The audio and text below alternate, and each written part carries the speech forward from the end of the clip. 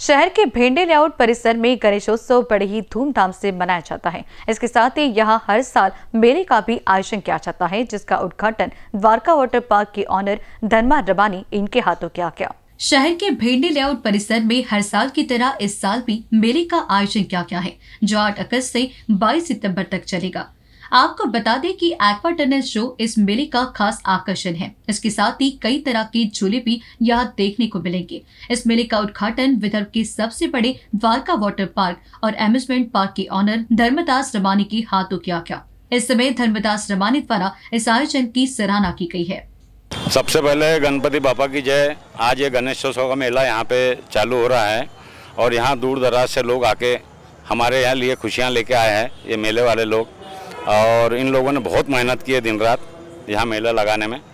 गणपति जी की असीम कृपा से ये सक्सेस हो जाए और जो लोग ये खुशियाँ बांटना चाहते हैं, मालिक इनको भी खुशियाँ देवे और खुशियों से भर देवे और यहाँ की जनता यहाँ आकर अपना प्यार और आशीर्वाद प्रदान करें।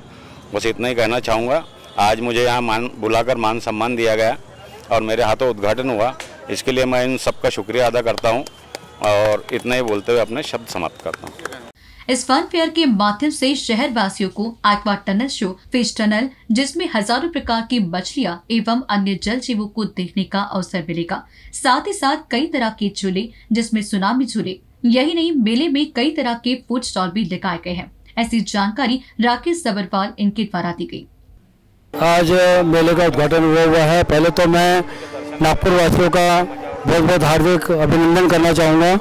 कि हम लोगों को एक ऐसा मौका मिला है कि यहाँ पर कुछ हमने कुछ बहुत इतने सालों से जो प्रदर्शनी एग्जीबिशन यहाँ लग रही थी, उसमें हमने पूरा एक अलग हटके यहाँ पर सहयोग किया हुआ है। और पहली बात यह है कि जो अंडर वाटर फेस्टिवल आप देख रहे हैं, ये टोटली एसी शो है। एसी शो है, जो कि ये दुबई की सेकेंड कॉपी है। इसमें कई हज़ार प्रकार की फिशेज आपको मिलेगी, जो कि सब बाहर के फॉरेन की हैं। इंडोनेशिया है, आपका दुबई का है, जर्मनी का है, ऐसे कई देशों का सामान यहाँ पे दिया हुआ है।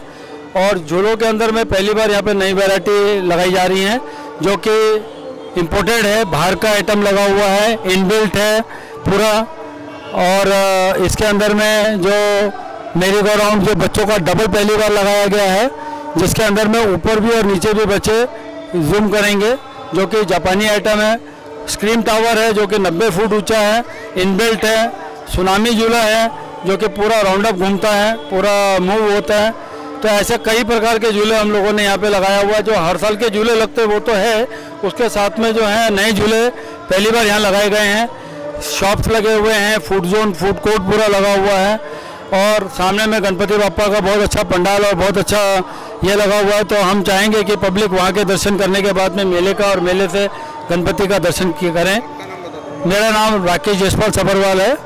यहाँ पे जो अम्यूज़मेंट पार्क लगा हुआ है, इसमें इम्पोर्टेड राइड्स जो हैं, वो हम लोगों ने समावेश किया है यहाँ पर।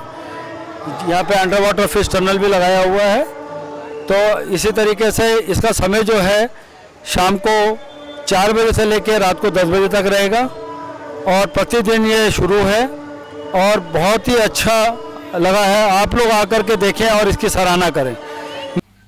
इस तरह के मेले में न केवल मनोरंजन के साधन है, अपितु ज्ञान वर्धन के साथ भी कहे जाते हैं। प्रत्येक मेले का इस देश की धार्मिक, सांस्कृतिक एवं सामाजिक परंपराओं से जुड़ा होना इस बात का प्रमाण है कि ये मेले किस प्रकार जनमानस में एक अपूर्व उल्लास, उमंग तथा मनोरंजन करते हैं।